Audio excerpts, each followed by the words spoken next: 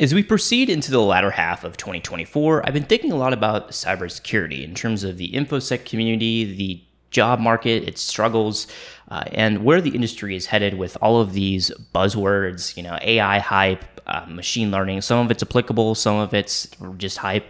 I thought I'd take a step back and talk about it just maybe a few tips or pass on a few anecdotes of advice. So, listed here on the screen are some of the tips that I've learned so far within my journey. Now, I will say that it is a bit comical for someone in my position to be giving career advice when I don't have 20 years of experience behind my back. Uh, so, do whatever you want with this advice. It's just, just some of the things that I realize as I've mentored, been mentored, and maybe given advice to beginners in cybersecurity. So, when it comes to pursuing your career path in security, it's a bit overwhelming, or it is overwhelming. It's challenging in security based careers and in, cybersecurity in general. It can be a challenging career. Um, so everyone has their own learning plan, their own journey. And if you talk to people who are constantly telling you how to get started in cybersecurity, they're going to give you maybe some similar advice, but also different.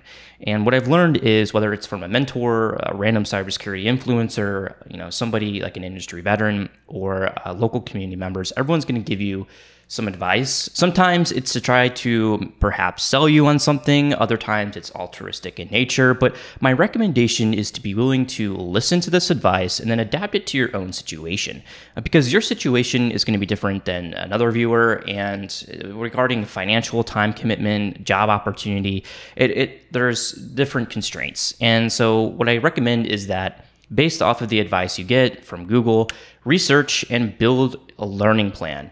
Uh, what you think is going to be the best route, what you think is going to be most successful for you, whether that's pursuing a certification, going and getting a cybersecurity or computer science degree, or uh, just doing some side projects along the way.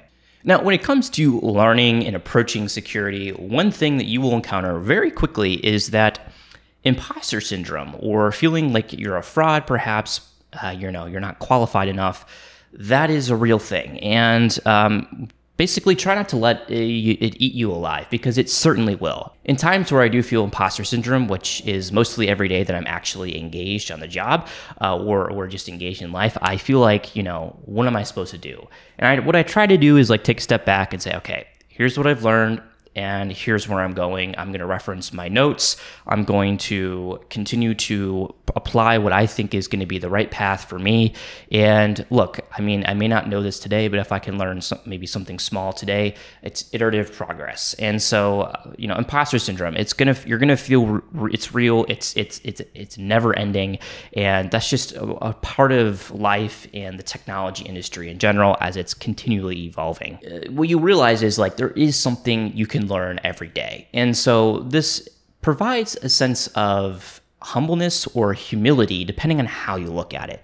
Um, and yes, you, you you don't have to learn something new every day, but if you are eager or willing to learn and you want to, I guess, thrive in security, um, you know what you'll realize is that there is stuff to learn. And i'm continually humbled by how much i don't know. You know just try to learn from others and, and be humbled by the fact that you know what maybe you can share some knowledge and they can too.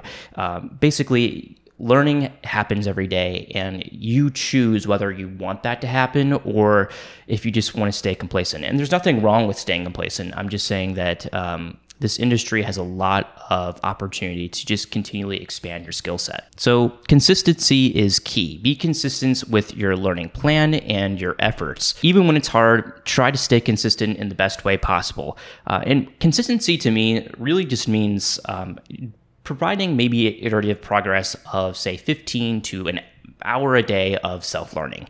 It doesn't have to be some long, complex eight hours of hardcore self study. Uh, it could just be 15 minutes of reading the security news or a security based book, um, or you know whatever that may be.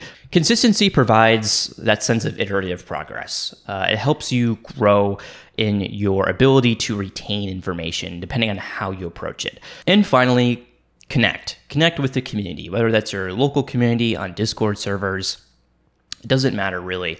Make sure that you are connecting with people in your local community and networking and, and networking in a way that you don't have an agenda to try to mooch off of people or get jobs. More so just being connected in the community, finding like-minded individuals, or maybe not, and and sharing that different perspective um, is what really makes the infosec community unique, and I, that's what I really enjoy about this industry is the infosec community. As I've continued to receive some recent DMs, Discord messages of how to get started in cybersecurity, or feeling defeated within this job market, which it's a tough job market out there right now. Um, sometimes it's best to take a step back and see where you're going, see what you're doing, and maybe perhaps refine and implement a new strategy moving forward. So I recognize this is generic advice, and um, I still have a lot to learn along the way, but these are some of the things that I've learned so far as you pursue a career in security. So best of luck to you. Keep going out there, applying yourself,